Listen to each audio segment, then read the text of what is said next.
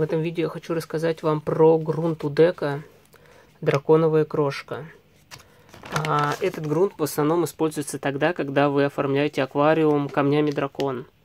Или купили набор, например, камней дракон, и там часто не хватает маленьких камушков. А в данном пакете 2 литра есть камни размером от 5 мм, то есть вообще очень маленькие, до 9 сантиметров. И ими удобно выкладывать, дополнительно оформлять композицию. Есть вы видите то, что здесь есть вообще маленькие камушки. Также есть вот такие крупные, где-то около 5 сантиметров, 6 в достаточно большом количестве.